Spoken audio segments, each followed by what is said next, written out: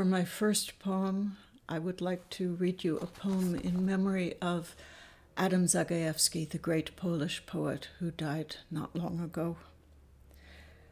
In memory of Adam Zagajewski. On this first day after your death, I read your books. In one afternoon and an evening, you change from a hopeful young man to a person older. Of all you had hoped for, much did arrive. A new era opened, however briefly, its windows. You loved and were loved. Your poems were successful. They became themselves fully, also more sad. The love of birds, animals, insects, cities stayed for a lifetime. To them you compared many things. The wind yawned for you once, like a foxhound. Dusk spoke in Sanskrit. You noted calmly the earth's indifference, then noted its chestnut trees' openings, summonings, calls. You lived in three countries, carried three countries' passports. Time stamped onto their pages its visas' ornate colored inks, grief, history, love, meals, conversations, haircuts. Is it now so quickly for you as you once imagined for poets already dead? Their doubts vanished with them, you wrote. Their rapture lives.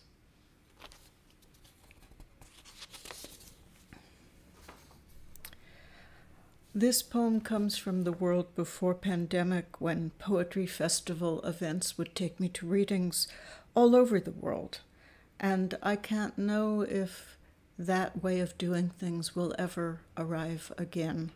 Uh, but I would especially like to thank this International Poetry Festival for inviting me to take part in uh, this year's celebration of UNEAC's 60th anniversary. It's a great honor to be here with you all. In a former coal mine in Silesia.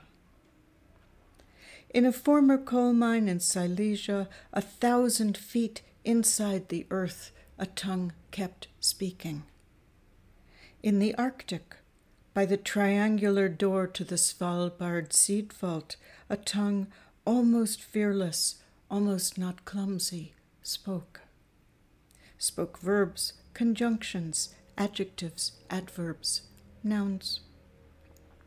In a small town in the Australian outback, in the city of Nanjing, near a gate still recalling unthinkable closures, by a lake in Montana, a tongue almost steady, almost not stumbling, spoke facts, hypotheses, memories, riddles, stories. Lungs accept their oxygen without trembling. Feet stand inside their foot shapes, inside shoes someone has sewn. We close the eyes of the dead so they will not see they're not seeing.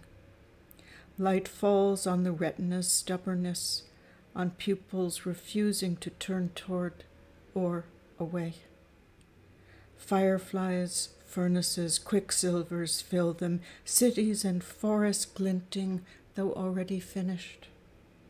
And the tongues, the faithless tongues, continue speaking as lovers will, because they still love. Long past the hour, there is nothing left to say.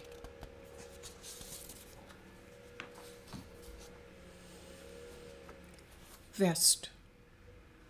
I put on again the vest of many pockets. It is easy to forget which holds the reading glasses, which the small pen, which the house keys, the compass and whistle, the passport. To forget at last for weeks even the pocket holding the day of digging a place for my sister's ashes, the one holding the day where someone will soon enough put my own. To misplace the pocket of touching the walls at Auschwitz would seem impossible. It is not. To misplace for a decade the pocket of tears.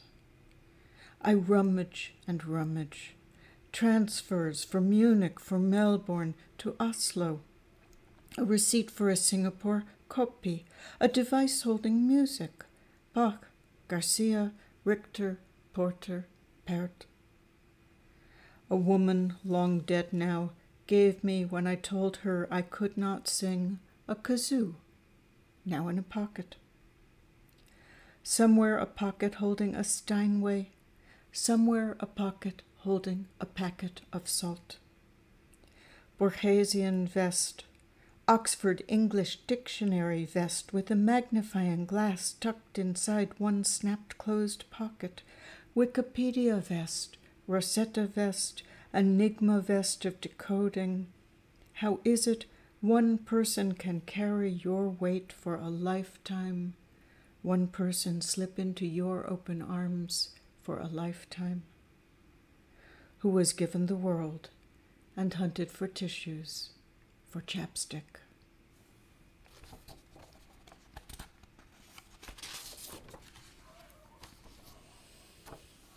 A day is vast. A day is vast until noon, then it's over. Yesterday's pond water braided still wet in my hair. I don't know what time is. You can't ever find it, but you can lose it. And this last poem can be understood as being about the muse, but when I wrote it, I had more in mind the many poets whose work is truly great, and yet they might have, have no opportunity to publish, they might not be translated into a language I will ever be able to read. And so I would like to dedicate this reading to those unknown poets and their work, and to the poems that change the world, whether or not we know they exist. The poet. She is working now in a room not unlike this one, the one where I write or you read. Her table is covered with paper. The light of the lamp would be tempered by a shade where the bulb's single harshness might dissolve, but it is not. She has taken it off. Her poems, I will never know them, though they are the ones I most need. Even the alphabet she writes in I cannot decipher.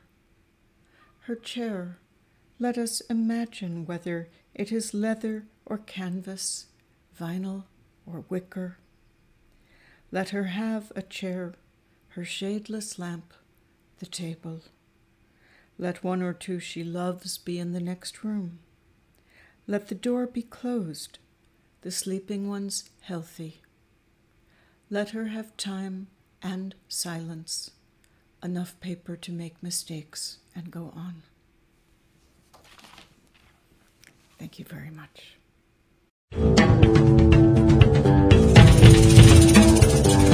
Thank you.